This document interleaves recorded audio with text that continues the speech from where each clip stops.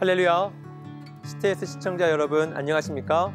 마닐라에서 구세군 교회를 담임하고 있는 임준식 사관입니다. 그러면 무엇이냐? 거칠애로 하나, 참으로 하나, 무슨 방도로 하든지 전파되는 것은 그리스도니 이로써 나는 기뻐하고 또한 기뻐하리라. 나의 간절한 기대와 소망을 따라 아무 일에든지 부끄러워하지 아니하고 지금도 전과 같이 온전히 담대하여 살든지 죽든지 내 몸에서 그리스도가 존귀하게 되게 하려 하나니. 오늘 본문 빌립보서는 바울 사도가 옥중에 갇혀 있는 중에 남긴 말씀입니다. 그는 어느 누구보다 열심히 복음을 전하다가 핍박을 받았고 붙잡혀 옥에 갇히게 되었습니다.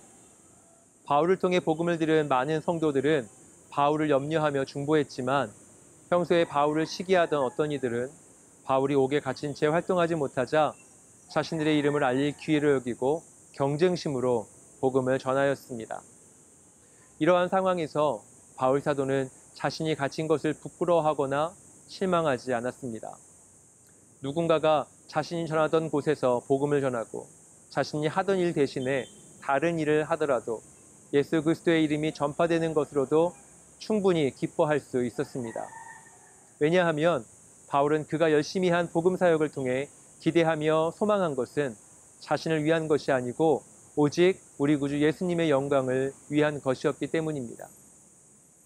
사람은 누구든지 저마다의 기대하는 것이 있습니다.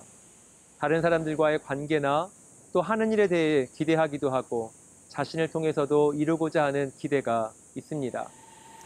저는 17년 전 전도사 사역을 내려놓고 영어 공부를 위해 필리핀에 6개월 정도 머물렀던 적이 있습니다. 어, 그 기간 동안 물론 깊이 이해했던 것은 아니었지만 필리핀 사람들의 삶의 모습과 필리핀에 사는 한인들의 모습을 보면서 몇 가지 기도하며 소망을 품은 것이 있는데 첫째는 언젠가 필리핀에서 선교 사역을 하겠다는 것이었고 둘째는 현지 선교뿐만 아니라 필리핀에 사는 한인들에게 복음을 전하는 한인 선교였습니다. 그리고 목회 안수를 받은 후 수년 동안 구세군 교단을 통해 계속해서 필리핀 선교를 시청했고 마침내 2014년에 마닐라의 한인 구세군 교회 담임 목회자로 오게 되었습니다. 지난 10년 동안 소망하며 기도했던 저의 두 가지의 비전들이 눈앞에 현실로 다가오면서 하나님이 저의 필리핀 사역을 통해 일하실 것이라는 기대가 제 안에 가득했었습니다. 비록 예배당에는 여전히 빈자리가 많았고 선교에 필요한 재정은 턱없이 부족했지만 하나님이 일하실 것을 기대하며 더욱 힘내어 사역했습니다. 그리고 정말 감사하게도 시간이 지날수록 교회의 빈자리는 줄어들고 선교할 수 있는 재정도 채워지면서 다양한 방법으로 사역을 열심히 할 수 있었습니다. 선교지도 안정되었고 사람들에게도 인정을 받게 되었습니다.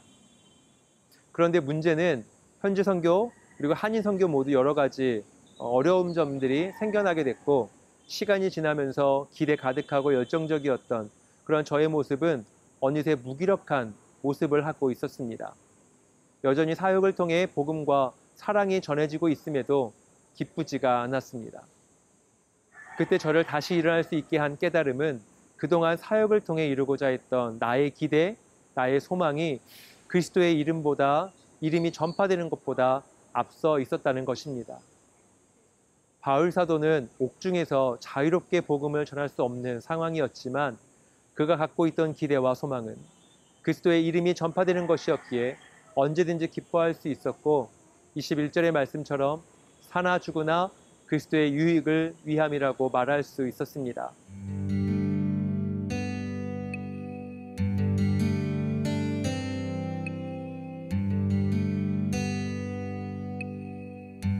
목회자로서 선교사로서 교회의 직분자로서 예수님의 제자와 증인으로서 각자의 삶을 통해 기대하는 것은 일의 성패가 아닌 하나님의 이름이 전파되는 것이기를 축복합니다. 하나님께서 저와 여러분에게 주신 비전은 일의 성패가 아닌 주님의 이름이 전파되는 것에 있음을 기억하고 언제나 기뻐하며 그리스도로 사는 저와 여러분 되기를 축복합니다.